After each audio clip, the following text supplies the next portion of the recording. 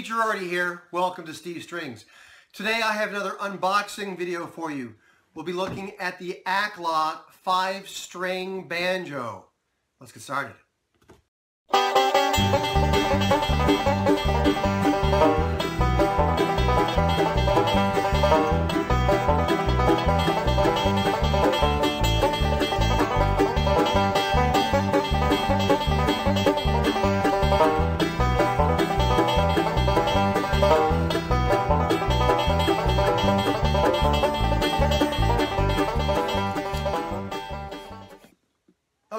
Let's go ahead and get it out of the box. Oops. There we go. Oh, very nice. Alrighty. So here you can see it came packed in a gig bag and it came with a number of accessories. Let's go ahead and look at the accessories first. Okay, this instrument comes with a, uh, a tuner it comes with a shoulder strap along with the hardware in order to attach it to the uh, the uh, brackets on the uh, on the rim of the banjo. It comes with this tool to adjust the brackets and also to adjust the uh, tension rod. It comes with an Allen key or Allen wrench to adjust the truss rod. It comes with a set of steel finger picks it comes with a cleaning cloth and it comes with a spare set of banjo strings. So let's go ahead and look at uh, the instruments and the bag that it came in. All right, let's go ahead and look at the bag here first and the instrument last. Okay, so this bag, it looks like a basic kind of a bag, not super, super thick maybe 10 millimeters worth of padding on it. It opens up to the bottom, but it opens up plenty wide enough for the instrument to get in and out of. It does have a uh, pocket here on it. It's not a bellowing pocket, it's fairly flat. And of course it has the Aklot logo on it. This bag also has a, uh, a basic webbing carrying handle along with two basic webbing shoulder straps. So not super rigid, not a lot of padding, but certainly enough to to protect it for some light sort of uh, activity.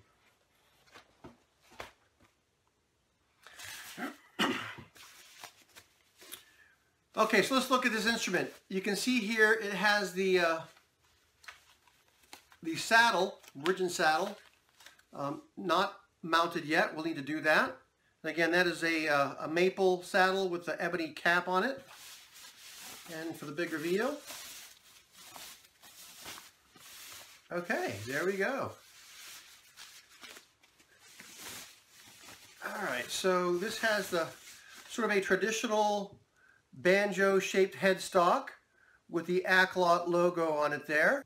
And that logo appears to be laser etched. This is the truss rod cover. Uh, this does have paper on the strings, so let's go ahead and take that off.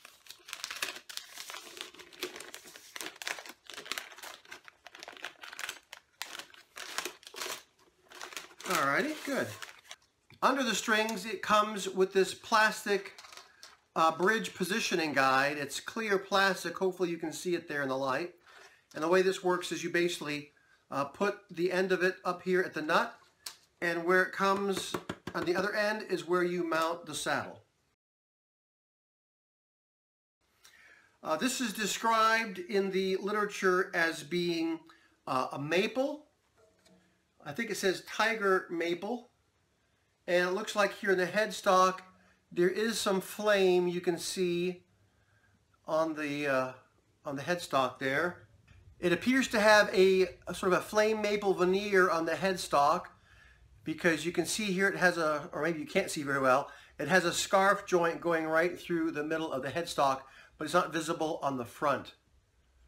Oh, nice.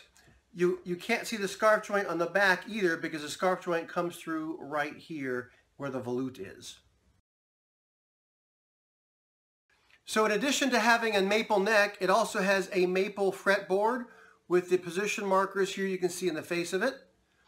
You can see the position markers in the binding on the side. Again, it looks like it's uh, it looks like it's black ABS binding. And I should say that the frets are not sharp, so it's very smooth neck there.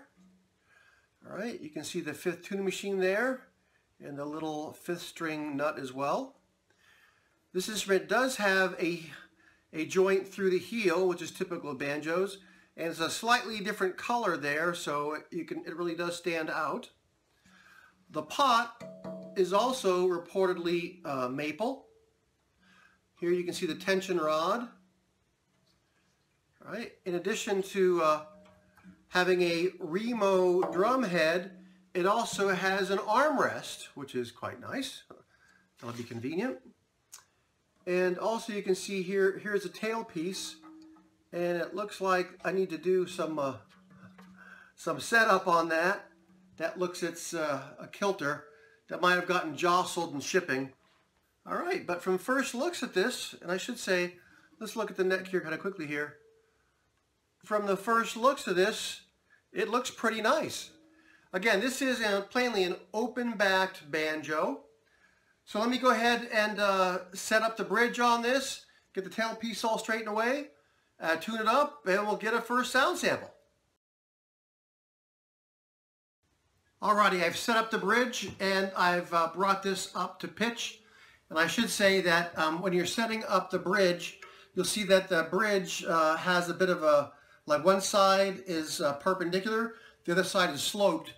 Make sure you have the slope side pointing toward the headstock. That's the, the correct way to set this up.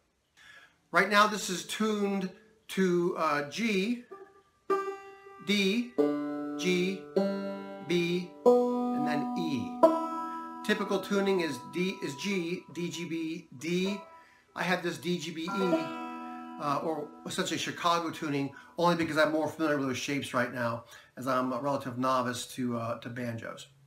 But let me go ahead and um, uh, let you hear this again.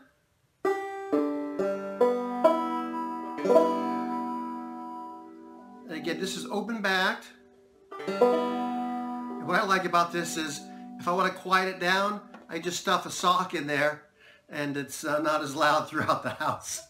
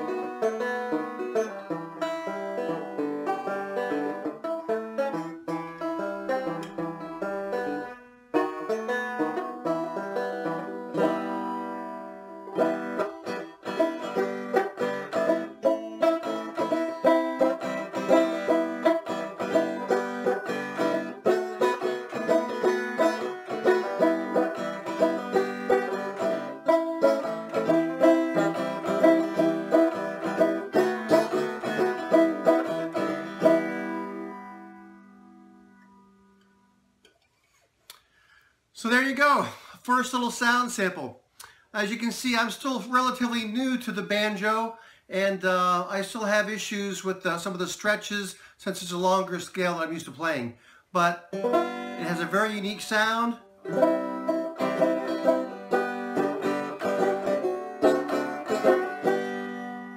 And whether you strum it or whether you pick it, it's a fun instrument to play.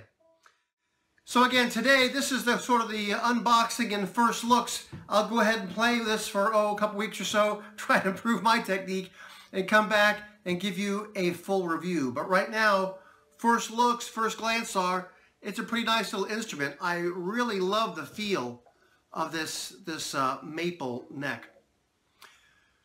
So I hope you found today's unboxing video useful. Thanks for watching.